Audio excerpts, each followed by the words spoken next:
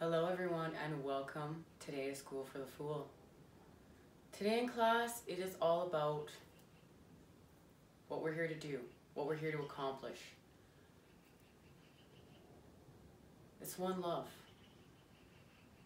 As a twin flame, you are here to connect through your awakening and you realize that more than one perception can exist at the same time.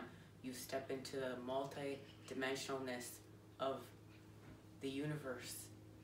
You understand that people are around you are just having an experience and they are sick. They are caught in ego. You are shown a different path. You are shown a different way. You are shown the unity consciousness so we can heal, so we can harmonize by transmuting. And this happens through us. All this is happening through us if you are on this path and you are doing the work and not slipping into your old patterns of ego. We build new patterns. So you see your old patterns, you build your new your new patterns. And as you do that, we start to rebuild. We start to rebuild around us because what is happening within us comes out and through us. And our experiences directly are our teachers. And our connection with Source when we learn how to slow down and reconnect with nature. Now, meditation also, it, you can do it with exercise, um, music, cleaning your house, whatever way you can shift your focus and just let your mind wander and connect. But with nature, reconnecting with nature is just extremely important if you want to start making the shift. And that's what this is about. We are here to shift. We're here to become creators again. We have been consumers. And now we are going to be leaders. We are going to be leaders in facing our darkness.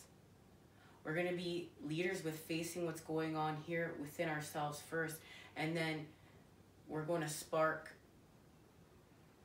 our flame, our light. Our light is going to lead the way for others to start creating again, to start embracing their uniqueness. And it all starts by embracing your uniqueness. But it seems there's a pattern of what we are born into um, as twin flames on this path. And there are templates that we are shifting and breaking away from, and we can look at those. We're going to look at those today. But the thing we have to remember is we're not going to go extremely deep into them, but it's equality. It's about equality, like equality for the sexes. You know, the masculine energy grows feminine energy, and the female energy grows masculine energy, the yin and yang. And then we we have equality. We have equality for the earth. You know, um, because we've expanded our awareness, we have a connection. We we have love, a love for the earth, for the planet, for life. So we are really here to restore balance and be alive and create. Show people how to be alive and create. Now, let's just look at some of these templates. Now, what are some of these templates we're going to shift? Sex. Loving someone of the same sex. Race. Loving someone of a different race. Changing our beliefs. What we've been taught. What our families believe, right? Religion loving someone unconditionally of a different religion. Not having your families maybe be in support of that. You yourself not being able to understand what this is going to look like. But we're going to heal through that. We are going to change the templates now. Codependency. Codependent relationships where you cannot live without the other person. Right? Relationships that are full of toxicity, ego. Speaking of ego, we got the monetary system. Many twin flames. You have one that has a lot of money, is with a karmic partner, cannot leave the karmic partner because they don't want to lose their money. They don't want to lose everything. But they realize are they going to live for money? Are they going to live for love? Now, it doesn't mean they don't love their karmic partner. Please do not, I'm not speaking for that. Every situation is different. Everything is different, okay? This is all about unconditional love. But it's about breaking and shifting through templates to create new, to heal, to evolve. You know, and even not using our children on the battlefield. Recognizing that our children need to be happy, we need to be happy. We all raise the vibration of everyone collectively and alchemizing that. And what does that look like? It's not perfect, no, but it's harmonization. Now, a lot, many people have been bringing up the question is, is age a template? Because, you know, you have um, one flame that's 60 and another flame that's 35. So that has been a question. And saying that, we are all going to need different things. Everyone's journey is going to be unique. So let's show kindness. Let's show compassion. Let's step back and not judge. Let's shift and move forward. Alrighty, so how are we going to do this? Connecting to the one love consciousness. How do we achieve this? Start by healing our inner child.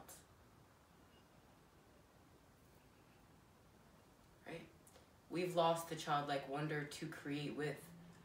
We need that to create with. The, we need to remember that vibration. So we're going to go in the darkness, in the darkness within. And we tell our truths. And in telling our truths, we reclaim pieces of higher self and we restore ourselves. Now we have all these vibrations to manifest with. We're growing. And that's really with letting the feminine energy lead the way and then learning to apply the masculine energy to have the growth. The creation of the feminine in the void, in the darkness, with reclaiming higher self by healing your inner child. And then you apply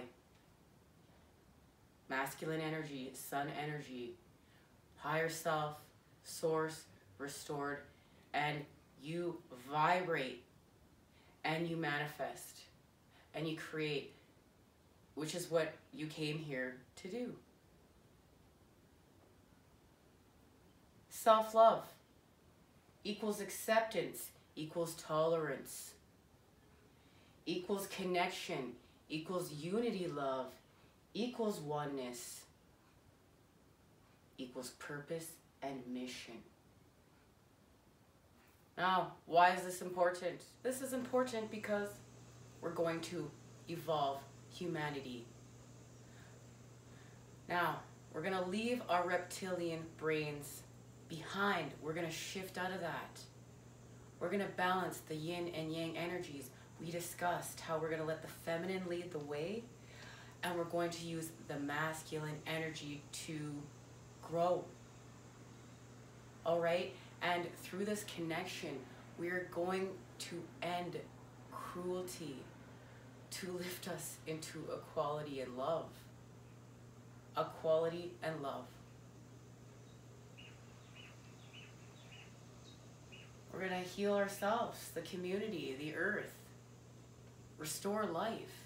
Restore life back to the planet because everything is dying. What else are we going to do? The renewal of life and life force energy. And that's really, this connection is so important because we get to reclaim our sexual energy back. We get to restore it. Because right now the sexual energy is distorted, so we cannot manifest with it.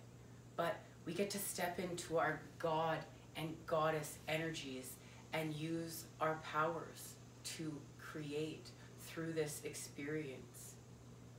We get to create a better tomorrow. That's what we're going to shift into. We're going to shift. Let's create something beautiful and magical and spectacular. And please feel free if you want to be part of the conversation, email me your template and we'll discuss it. We can talk about this more uh, down the road. But on that note, let's head on over to my desk and do a reading all about this topic. All right, now here we are at the reading. Let's see what is happening with twin flame energy. The twin flames that I'm connecting with. Everyone is going to be activating within their own divine time. Huh. Temperance. That is tempering ego right there with help from above.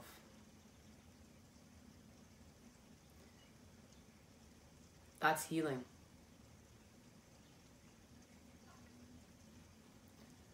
And right there, I'm going to tell you, I see a message. We got the divine feminine is water, represented by water, and divine masculine fire. This angel has water in one hand, pouring out, and fire lit in the other. So there, right there, I see the alchemy of the divine feminine and the divine masculine right there with help from the angels. And I love how the angel is wrapped up in gold. That divine gold light. The golden light, the light of the sun, the sun energy. It's beautiful. It is absolutely beautiful.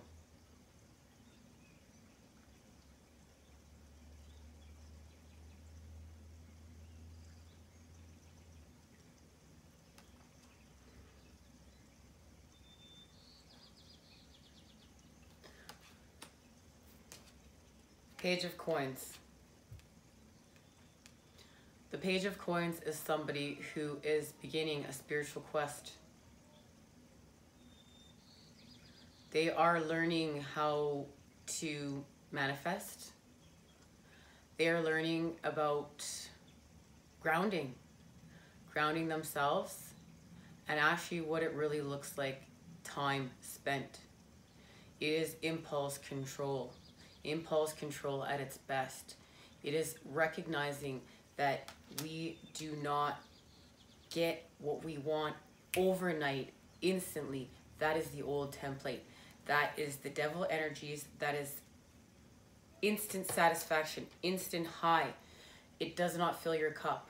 What fills your cup, it's cultivated. It takes time. It's time spent time cultivated, manifesting your dreams. And it's it's really like I said, the page of coins is on a spiritual quest.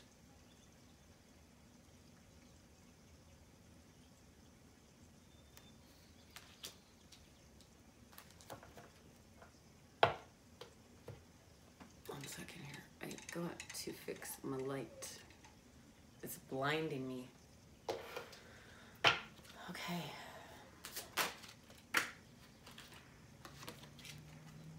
Death.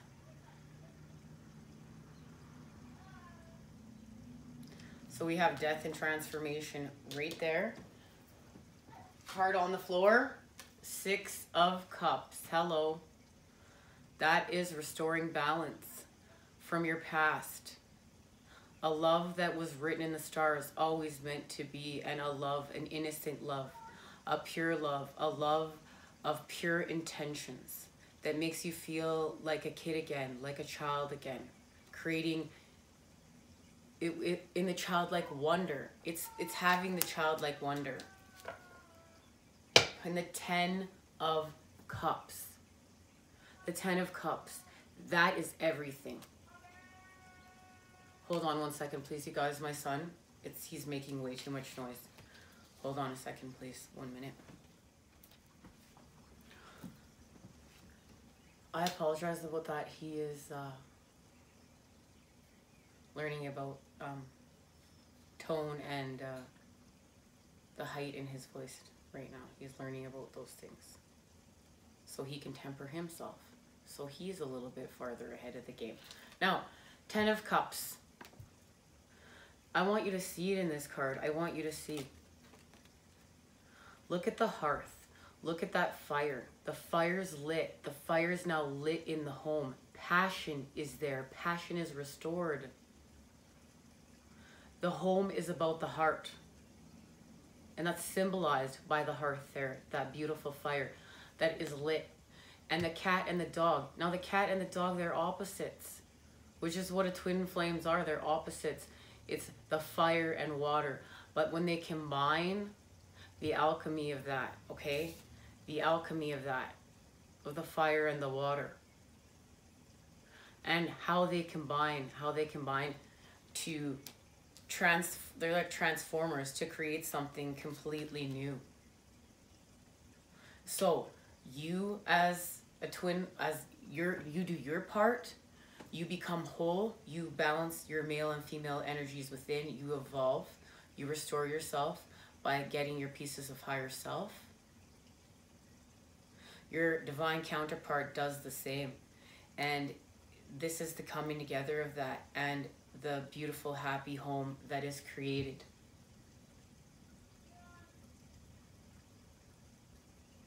And for everyone's path, I know this is all going to be different because we are all going to activate in our own times, in our divine timing. We are all on our own unique paths and journeys. I mean, we've got we've got the ace right here. The ace of pentacles.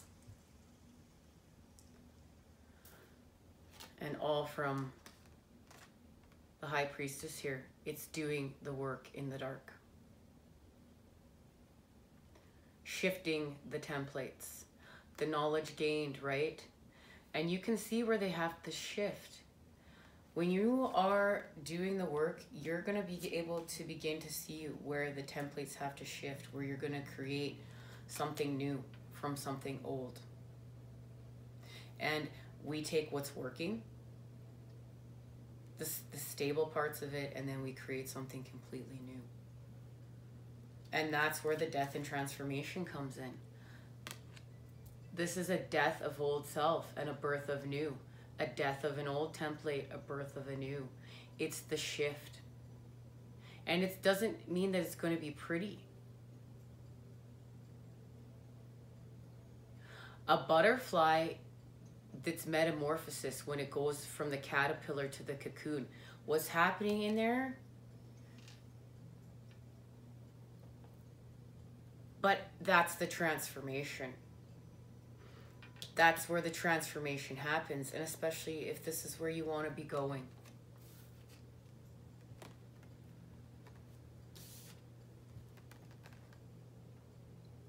And we do have help. Help is there. Now, let's go a little bit deeper into the reading and clarify. These are some beautiful energies. It's all about becoming into alignment, right? Okay. We have got the tower.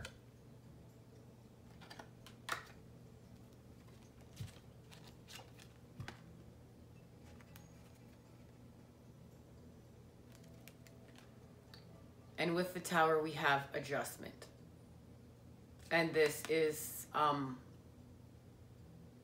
justice it's the card of Libra, right? There's the scales and there is the sword in between. Okay? So we have the tower and adjustment. And that is where we're beginning. The tower comes in, the tower knocks out what's not serving us, takes out what's not serving us from that old template. Then, here we go we got adjustment coming in. We have the scales, right? we take what we learn from the darkness, we balance out our karmic scales, we cleanse our karma, we take what we've learned, and then we cut it. We take that sword, we cut it. We give ourselves justice, or we get justice from the outside world. Whichever way that looks, this is removing of what's not serving you and cleansing your karma, balancing of the karmic scales to have a birth of something new, to have a resurrection.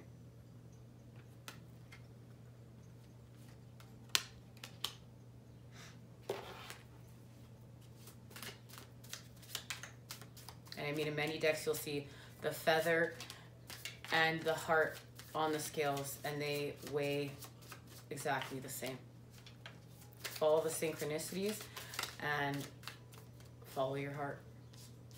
Clarifying the page of coins.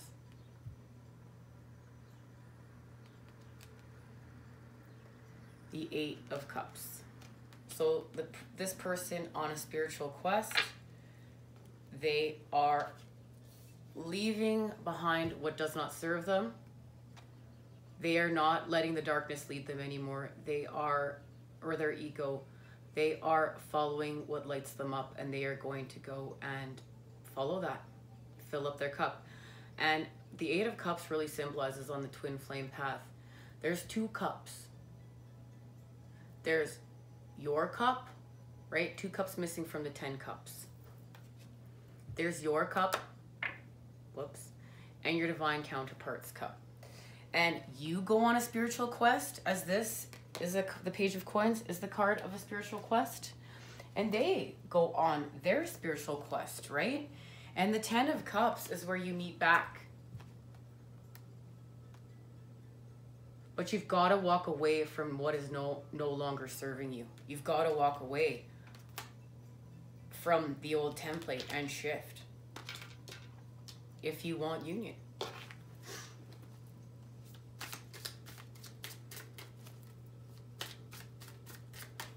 Clarifying death. There it is. Ten of Cups. Now it is here twice. It's here. Look, guys. That's what the transformation is about. Sorry. The Nine of Cups. I get got ahead of myself because that's about happiness. So the Nine of Cups. Wish fulfillment. We've got the Nine of Cups, the transformation. Okay, so now we've got the Ninth Cup. We transformed. So this is what I was just talking about right now. You go and you walk away from what's not serving you. You follow the light, start filling up your cup as you reclaim pieces of higher self. Now, that is the ninth cup. That is happiness. And your divine counterpart is on their path, on their spiritual quest, doing the same. Please remember, they are doing it in their divine timing, on their path, not on yours. Your quest is your quest, their quest is their quest. It's in their timing. You keep filling your cup. Keep creating your happiness. I love the lotus flowers there, guys. Let's clarify the Six of Cups. Remember that that uh, tenth cup. I love the Ace of Cups, right? The the all-encompassing love from Spirit. And there we go. Clarifying the Six of Cups. The Chariot. That is it. That is the unity within the balance of yin and yang, dark and light, the integration of higher self and now the will to move forward the path that was created that was not there until you mastered yourself until you balanced yourself until you learned how to balance back and forth between the yin and the yang the dark and the light right? The chariot is a victory. The chariot is a victory of self okay and then the energy at the bottom of the deck. Nine of Wands. And we're going to read that. we're going to read this card. Because it says strength, okay? And I think, I really believe there's a message in here that we need to hear. So, this, the whole energy, we got the Ten of Cups and strength. And I love how there's arrows here and then the one wand. So we have the eight wands as arrows and the one wand, it's lit with the sun and the moon. The sun and the moon. Everything we were just talking about once again, this reading all is connected. Everything is nicely connected in it. This reading is on point.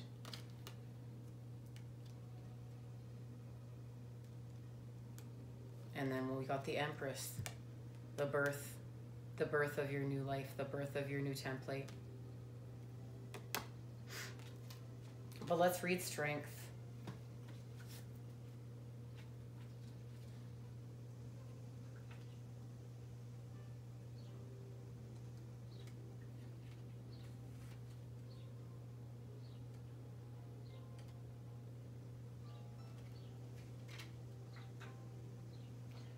Strength, power, health, success after conflict, tremendous force, recovery, victory follows fear, Tra- change brings stability. Change brings stability. It's all here. This reading is all here. Now, let's see what's being activated within these energies. I'm gonna use the Starman Tarot. Hello. Oh my god, you guys. The Ace of Cups, and there it is. There is the 10th cup. There it is. There is the lotus flower. Hello. Hello. Like, OMG. There it is. Now we have the 10th cup, and that is what's being activated within these energies. And this card, like we have got the lotus flower that blossoms in the darkness. Through the purification there. Through the purification through the darkness. Okay, we've got the chalice. It's got a reptilian eye on it. We have serpents coming out of this cup, right? And then we have Megatron's cube. And Megatron's Megatron's cube. And that is the sacred geometry that we are creating. And I will be doing um, episodes of sacred geometry on this channel in the future. That's something I want to get into. We'll go one step at a time though. But that is Megatron's cube. And that is this this is it. Template building at its best.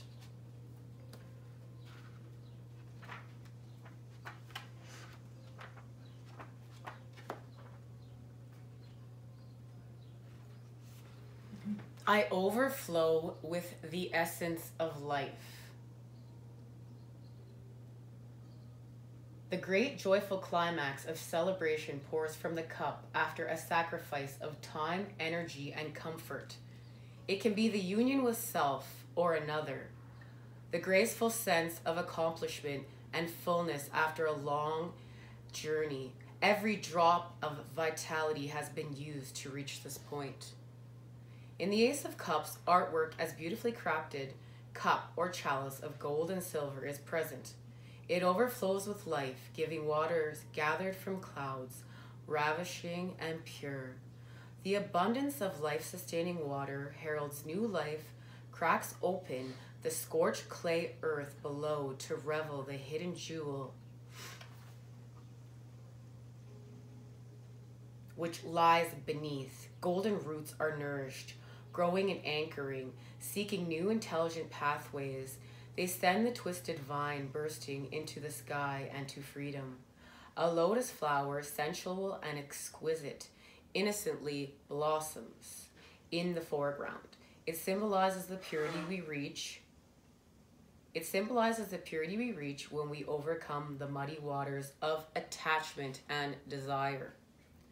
This card carries the energy of the one who sacrifices for the love of another.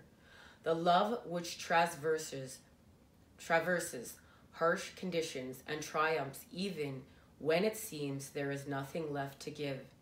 The power to grow and flourish is released. The sacred milk of life spills over in celebration. The tide comes in at last the replenishing water returns, and everything feels the surge of this peak experience. The ecstatic pulse of existence rises and sweeps away negativity, cleansing you in the past sacrifices and discomforts, renewing you. The Ace of Cups communicates the energy of regeneration. Barren items can now bear fruit. Ideas requiring a tremendous amount of hard work and sacrifice can now be realized. Consciously open yourself to receive this nourishing stream of calm flowing energy into your life and see it birth new life. The theme of regeneration is connected to the fountain of youth. The search for the spring, which restores the youth of anyone who drinks its waters, thus becoming re enchanted with life. For the fountain enlivens those with creative possibilities as life nourishes you. You so wish to give in return. Offer your brilliance to the altar of love, a deep loving and appreciation for the life you have been gifted. Allow the replenishing energy to wash over you, abundance of growth, offer of creative brilliance and love. Guys, this is the it. This is the path this is what you're walking away to do when you are filling up the, your cup. This is the twin flame journey. This is the twin flame path. Right here. When you are walking away from what does not serve you in your eight, in the eight of cups to your now ninth cup. And with your ninth cup, you're happy. Okay? And when your divine counterpart fills up their cup and you come back together, for many of us, that is what we are trying to achieve. Now, I'm not going to speak for everybody because everyone's paths are going to be different. And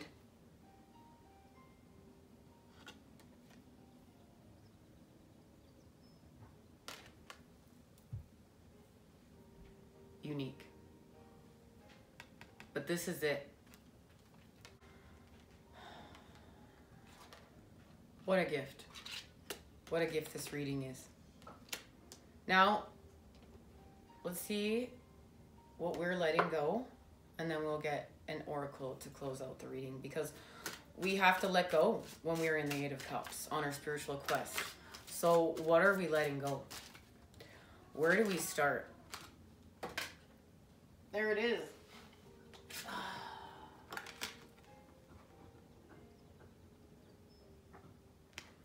Surrender to rest and sleep. To prevent burnout, slow down, honor your need for quiet time and peaceful sleep to rejuvenate your mind, body, and spirit. We are going to start there. What else do we need to let go?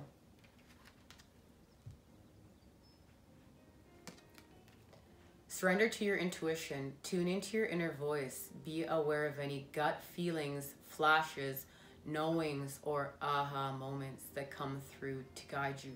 Well, that's how you're going to know where you're going on your path. To you really need to cultivate your intuition. It's it's so important. Logic does not lead the way on the twin flame journey. You need to apply logic, yes, during times, but you need to know when to switch back and forth between the energies. Surrender to setting limits. It is healthy to set boundaries in your relationships. Practice expressing your needs and remember that no is a complete sentence. Now, let's get an oracle, close out the reading. There are two.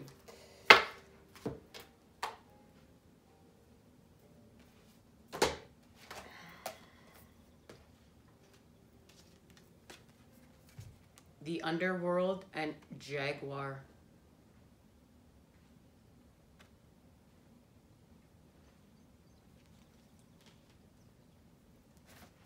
Oh, the lower world. The lower world and jaguar.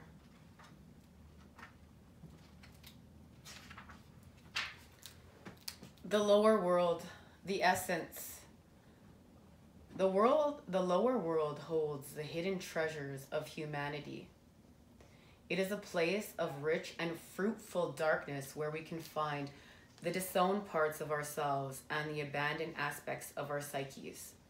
The lower world is the place of our ancestors where we discover the gifts and lessons from the past.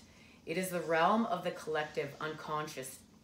Here we can meet our demons and transform them into our pure energy, our source of personal power. The invitation. It is time to unearth your hidden treasures. Do not make yourself small in order for others to like or accept you. Bring out the gems and precious stones that you have kept inside your heart, hidden even from yourself. It's time to honor your past and recast your life as a heroic quest, as a journey into the lower world. You will be offered all the gifts of your ancestors, their struggles, the way they hurt, the way they lived, and the way they died. It will all become blessings. The medicine are you one of those people who do not like to face the past? Now your past is calling to be acknowledged, to be heard, and to be embraced. The only way to become unstuck is to honor everything that has transpired in your life. Reflect on the lessons learned and move on. If you bear witness to your past and learn its lessons, it will stop haunting you.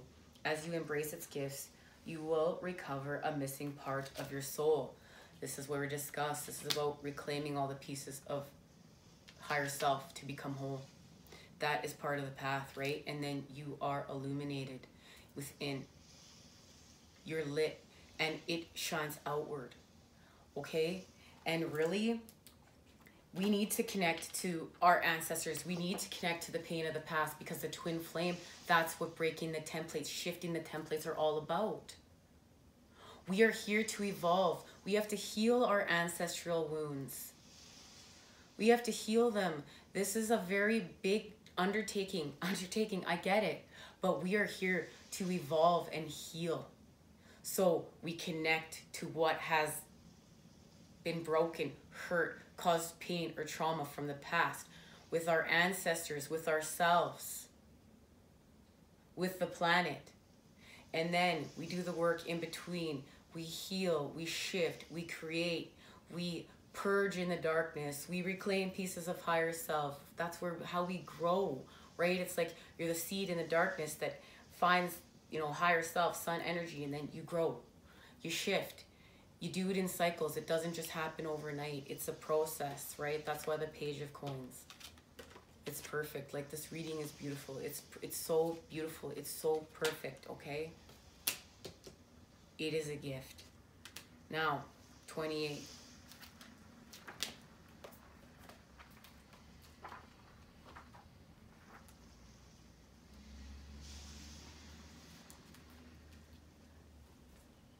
Jaguar, the essence, is the protector of all life in the Amazon, and in times of fear, she brings courage and certainty. Jaguar is at the top of the food chain and never becomes prey. With great stealth, she can track her mark from a distance and not be seen or heard. She moves gracefully through the jungle, relishing, relishing the abundance of the rainforest, fearless and at ease. Jaguar knows the ways beyond death and is the master of the shadows. Blending invisibly between light and dark and night and day. The invitation Jaguar calls you to explore beyond the walls that confine you, to go outside your normal routine, to push your limits and boundaries. She is delivering an invitation from your own future to investigate the unknown, to venture into the mystery and the dark places you have been reluctant to explore. Toss all the caution to the wind. Know that your jaguar instinct will serve you well. What in your life needs to be released? The medicine. What have you carried around with you far too long, which is ready to be let go of once and for all? Jaguar medicine is available to heal the fear so you can allow it to go. It's time to come out of the shadows and end the shadow games that you may have unconsciously agreed to play. Call on Jaguar to unfetter you from toxic relationships and recover you and your natural instinct for the right people and situations. Drop the freaking mic. Guys, this is it. This is template template breaking. This is healing from your past. This is all the wishes you made in the dark on those stars. The universe is trying to gift it to you, baby. The universe is trying to answer. It's knock, knock, knocking. You gonna open up? You gonna open it up? You gonna let it in? You gonna let the light in? Face your fears, face your darkness, face these old templates, these codependent, toxic behaviors, help heal our ancestral wounds, help heal the planet, make this world a place to want to shake your booty in and have a laugh, have some freaking love, have some good times. Let's do this, baby. It's go times. I am so blessed and so happy to be a twin flame. I love it. I love this reading. Thank you guys for joining me here. I'm ready to go shift.